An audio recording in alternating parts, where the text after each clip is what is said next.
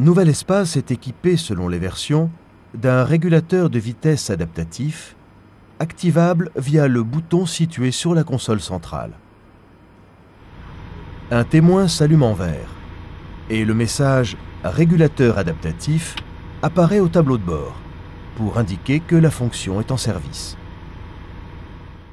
Le régulateur de vitesse adaptatif permet de maintenir une vitesse choisie, tout en gardant une distance de sécurité avec le véhicule qui précède sur la même voie de circulation.